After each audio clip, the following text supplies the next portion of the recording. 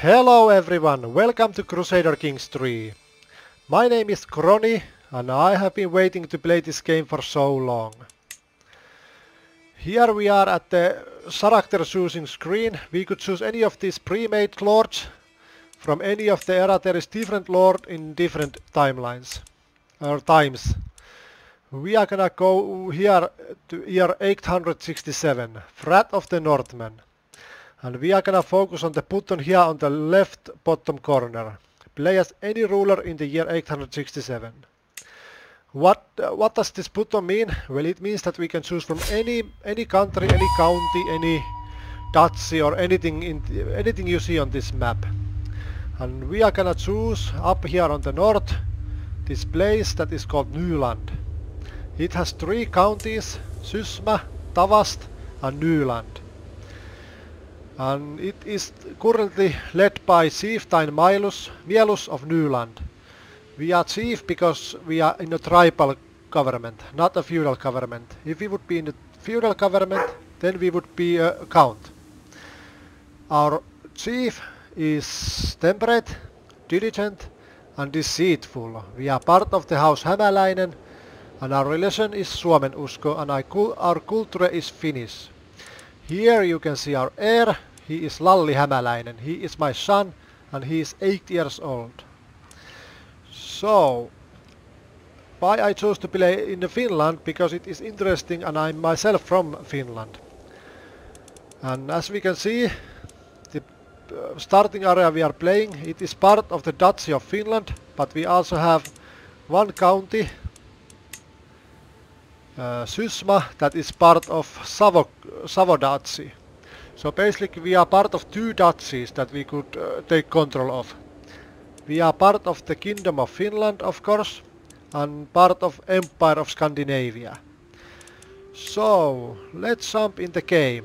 We are gonna play as a normal difficulty, but we are going to end up Iron Man, so we get achievements. So, let's go. So, here we are in the game right now. The game is currently paused, so we can check around few things. Up here in the top right corner we can see our mana, our resources, whatever you want to call them. The first one is gold. We currently have 25 co 21 coins and we are making 1.8 coins per month. The next one is our prestige and if we wait long enough it will lock the tooltip for us so we can check it out. The prestige is a represent of character's fame and social standing. Prestige can be spent on various worldly matters depending on the government form, doctrines, etc. And because we are tribal, we can actually buy things with uh, prestige instead of gold. And every time a character gains a prestige, they also progress towards their next level of fame. So currently we have 450 prestige and we are making just a bit over one per month. And we are established by our fame and the next level will require 1000 prestige. The next one is our piety. And this is like a religion, religion resource. And we are currently making 0.8 per month. And our level of devotion is dutiful. Uh, piety represents the virtue of character. Acting piously, according to the doctrines of their faith, will increase a character's piety. Piety can spend on various religious matters depending on the government form and doctrines, etc. Each time a character gains piety, they also progress towards the next level of devotion, just like in Prestige. And in piety, I think we need only 500 for the next level, that is faithful. And the last step up here is the renown. Renown is much like much like prestige, but shared by the entire dynasty. A dynasty gains renown for the following. The number of current living members, the number of rulers, the number of spouses to the other rulers. Note that ruler will not generate renown should they have any leads of the same dynasty. As with the prestige, renown also counts towards increasing your level of splendor. And splendor uh, level of splendor is measurement of how famous a dynasty is. Level progress is made whenever your dynasty gains renown. Characters get an amount of initial prestige when they are born, depending on the level of splendor. Similarly, spouses gain some prestige from each other's dynasty when they marry. And there you can see the different levels. Uh, our level of splendor coolant is obscure and we are progressing towards the next one and we actually have 380 already done for the level and we need 700 for the next next rank. Uh, next up here is our military. We currently have 5 champions and 270 soldiers and our army is the elite quality.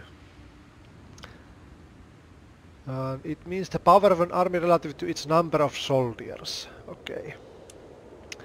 We are currently holding 3 out of 3 holdings and our domain limit is 4.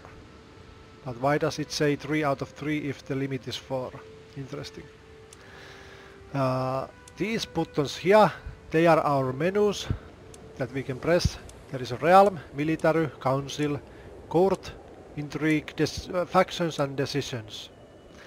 And bottom here we have the map control and we already checked it, the Dutch view, kingdom, empire. Here is the fate. Suomen Usko is a pretty big fate at this time. But uh, the Tengri is even bigger. And here you can see the cultures. We are Finnish. And there is a Sami culture in the Laplands. And the house Hämäläinen controls this small area here. Same as our Dutch, uh, Nyland. Okay. So let's check ourselves. So this is us. We are 30 years old and we are uh, health is uh, our health is fine. We are currently holding the Chiefdom of Nyland, Chiefdom of Tavast and Chiefdom of Nysysma. We have no vassals and our family is just me and my son. And I have no concubines or any other relationships. Uh, our stats are here. We have 16 diplomacy, that is very good. Only one marshal, that means we are very bad at uh, war or fighting. Uh, 10 stewardship is okay. Uh, 12 intrigue is okay and our learning is 2, that is also very terrible. Our prowess is poor and that is like uh, our personal combat skill. Yeah, prowess is a secondary skill that reflects the character's aptitude in a personal combat. A high prowess skill means that they are more likely to survive and perform well both as a knight in battles and in the duels. Each point of prowess gives a knight the dam 100 uh, damage and 10 toughness. And let's check our son. Our son is currently Poshi. Lalli can often be seen ordering other children around. While he is concerned with getting things done the right way, getting things done his way is equally important. Oh, and our son has a prowess of 6. So we are almost as, as skilled in fighting as our own son. That is interesting considering he is 8 years old and I am 30. Let's check our council next. We currently have no spouse, so we are going to have to get married. Our Noaidi is a Marja, and Noaidi is like a real priest. He is in charge of the religious and spiritual affairs in a faith with a theocratic doctrine. Unlike the lay clergy equivalent of court chaplains, realm priest automatically leaves all temple holdings in the ruler's domain and also receives portion of the taxes and levies from a vassal realm priest. Uh, realm priests provide liege with the levies and taxes if they have a positive opinion, opinion of them. The higher opinion of the liege, the more they will provide. The realm priest with a low opinion, opinion of the liege will not provide them with any taxes or levies and might cause problems. So let's see how we are doing with Maria. We are currently having positive opinion. Uh, she is arrogant, that is minus 5. Because we are just started, it is giving us a short reign penalty. We have communal identity, uh, I think. Our weight and our culture is intrinsically linked together. This practice strengthens the bonds of our community and though it tends to exclude foreigners. Also our personal diplomacy is plus 16. So we have been having some good and positive conversations with our Noaidi. And she currently endorses, endorses our, me. And currently she is tending religious relations. But I think we are going to fabricate a claim soon uh, when we decide where we are going to attack. She has a learning of 12 that is pretty okay. And she is 23 years old. Uh, she is a dishonorable ravener, whatever that means. Maria will act against you and others according to her personality, which is primarily determined by her personality traits, and she was greedy, lustful and arrogant. Uh, she is also insightful thinker and melancholic, and she is a scholar as a lifestyle trait. Okay. next one here is our chancellor. He is called Hannu, 21 years old. He has a diplomacy of 14, that's pretty good. She also likes, uh, has a positive attitude toward, towards us, and pretty much for the same reasons. We have a penalty because I am, uh, he is honest and I am deceitful. And he is currently tending for uh, foreign affairs, so he is trying to make my neighbors and other people like me a bit more. Uh, he is honest, compassionate and craven. Well, that is not very good to be a craven in a tribe, my friend. Ay, ay, ay. See, and his personality is gracious craven. Han will act against you and, well, this is the same, yeah. Uh, we have a steward. He is named Arto. He is 19 years old. Well, my council, council is very young, I see. He is also my champion. Were you my champion? Yeah, Hannu is also my champion. He is below average stewardship and he is currently collecting taxes. Do I have anyone better for steward? Uh, it doesn't seem so. Yeah, he is the best for now. Let's check my friend Arto here around. He is lazy generous and wrathful. He is also knave appeaser. And he is ir irrational lackey. Okay, interesting. He is low-born man. I'm sorry. Our marshal is Athos, 25 years old. He is also my champion and he is a bold gentleman. He is currently organizing levies for me and that, that is what he will be doing so I get more more soldiers. Uh, he is arrogant, patient and honest. He is a tough soldier and a holy warrior so that is pretty good for a marshal. His marshal, uh, martial skill is 6 and that is pretty poor. Let's check if we can replace him. Well, there is only Arto that is better, but he's already my steward, so I'm not going to switch him around. Well, then we have also Yrjö, 17 years old man, but he has the same marshal as Athos, so Athos shall remain as my marshal for now. And finally my spymaster is called Christina. Uh, he, she is 23 years old. Uh, dishonorable conciliator. Interesting words for a Finnish person. Uh, her intrigue is 11, so it's just above average, I think. And she's currently disturbing schemes and trying to uncover plots against me and my family. She shall be doing that for now. Okay, I think next we should check these buttons up here in the middle. First one is uh, telling us that we have no lifestyle. We could choose from these five lifestyles. There is diplomacy, and I think we are having five already five points in this already. Because we are have a diplomacy education and we would get more experience in this lifestyle. Diplomacy focuses on understanding people and their motives, how to handle other realms and how to win an unwavering loyalty of ours of my subjects. Then there is a marshal. Focus on the control of your realm. Honorably conduct on the strategies that will win your wars.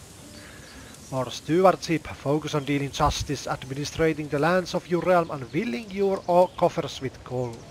Oh, that sounds good too.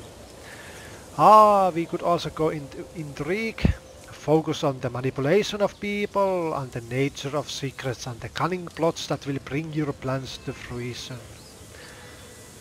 And then the last one is learning. Focus on learning all that you can. The realm of knowledge and divinity lie within your grasp, as well as the secrets to the life itself.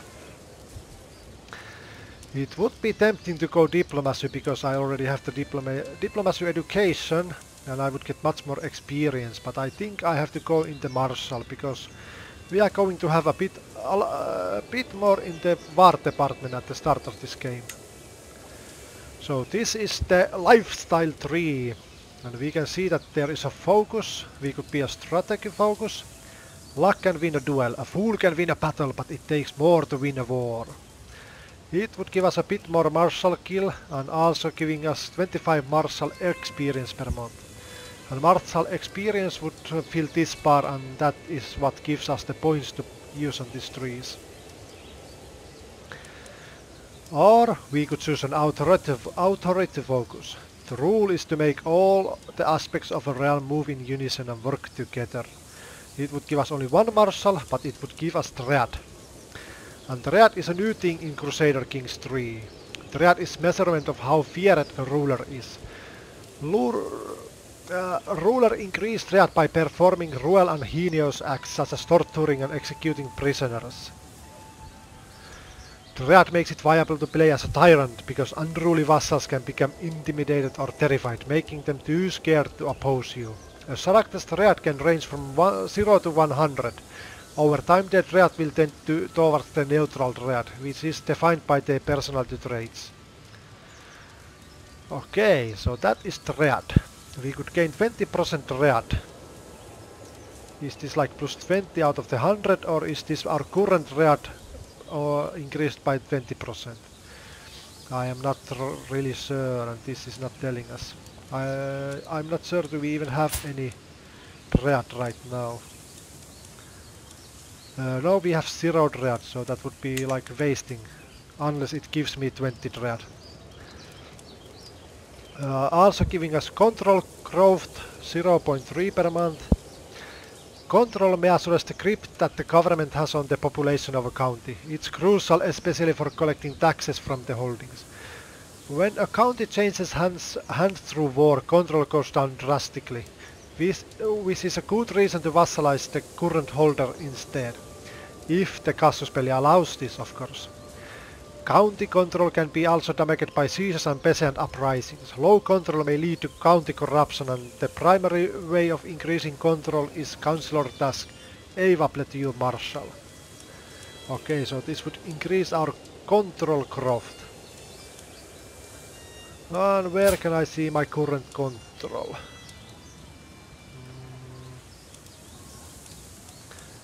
Hmm. Well, we have to get back to that a uh, bit later. Then the last one is Chivalry Focus. Victory comes not through blood or gold, but an honor. It would give us a personal combat skill plus 3, attraction opinion plus 10. It, would, it seems that it's very attractive to be a very this knight in shining armor. Also it gives us advantage plus 5 and this is for the rolls in combat. Uh, in Crusader Kings the combat is done by rolls and advantage means that we get bonus on those rolls. And all of these give us martial experience the same amount. This is a hard decision. Maybe, maybe I take the, well, uh, maybe I go with the knight in shining armor, aka Saivalre. It's good to have a bit more personal combat if I have to duel or fight someone.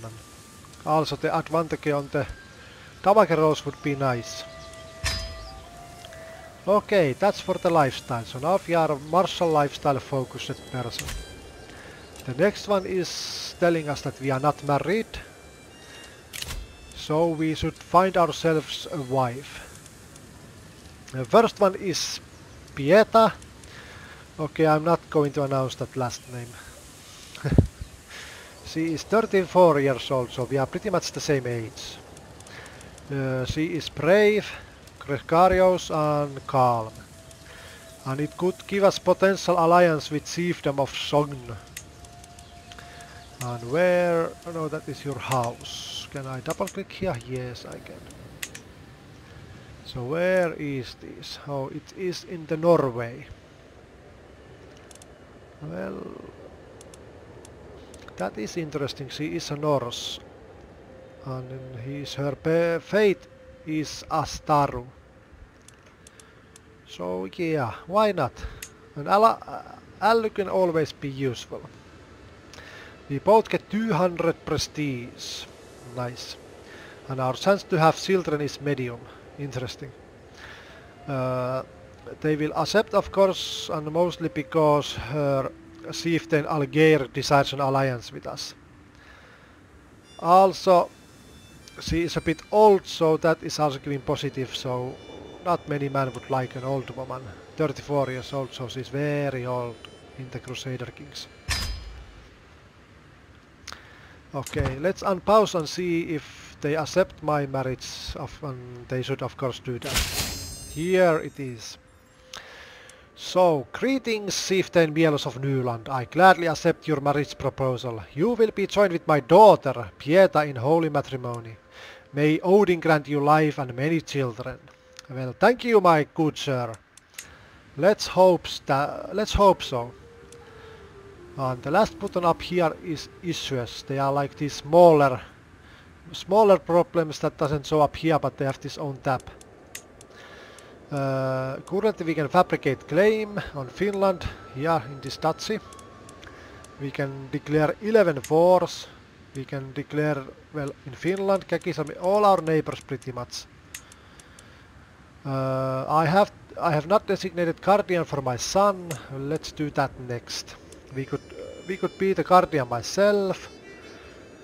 Uh, let's see if there's anyone with better stats. I don't think so, so I shall do it for myself. My son, you have a new guardian and it is your father. Congratulations. And now it tells me that Lalli Hämäläinen became my ward and he, it increased his opinion of me by 15. Wait, you will gain up to 15 opinion of Lalli Hämäläinen. So I think I will gain opinion towards him, not the other way around. Uh, last one is take a concubine. You are currently under the seemly number of concubines for someone at your rank. Takes more, take more concubines to negate the prestige penalty you are currently suffering. Okay, interesting. In Crusader Kings 2 I was never forced to take a concubine if I didn't want to. But maybe it's because I'm a tribal leader and tribal leaders should have many women in in the northern northern uh, culture in that time. So let me check here in our how much are we losing? We are only losing 0.1 so it's not that big of a loss. But let's see, we could take our priest as my lover. Do I want to do that right now? Or do I want to just stay with my wife and be this honest man? Well, I am deceitful, so I could have something going on behind my wife. So yes, why not? Let's let's go have some fun times with my priest. And now Maria shall be my concubine.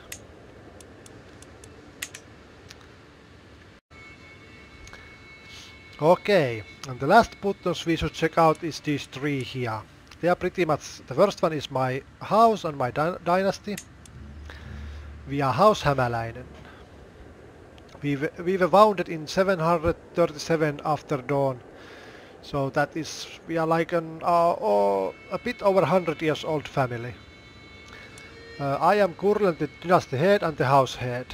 And my heir is my son, our reputation is going up and we have five members and two living. The living ones are me and my son of course. So where can one see our whole family? Is there a button somewhere? There it is. So before, after, before us there was, well my great grandfather, he was Mielus as well. uh, our grandfather Jalo and our father Otso. So it's pretty interesting that there is only men in our uh, dynasty and no wives and still they are having children. Maybe that is the skill of uh, Hämäläis uh, family to make children without women. Well, I had a son and I didn't have a wife when we started, so yeah, maybe that's maybe that's so. Let's close this window and check out this. And the next step is our religion. We are in Suomen usko. The sins in our religion is to be a craven, uh, arbitrary, or fickle, and the virtues are brave, just, and stubborn. Doctrines represents the issues faith must take a stance on. Then tenets represents the faith's unique quirks and rights. So we have a communal identity. We are worshipping ancestors and we are sanctifying the nature. That means that we are better in the jungle and places like that if we have to fight. Okay. Well, I think that is all for the interface and everything we should have been going through by now. I'm going to end this episode here and next time we get back we are going to unpause the game and start really playing Crusader Kings 3. Thanks for watching and if you like my content remember to like and subscribe. If you don't like my content leave a comment and tell me what I could be doing differently. Thank you and stay safe and stay healthy. Bye!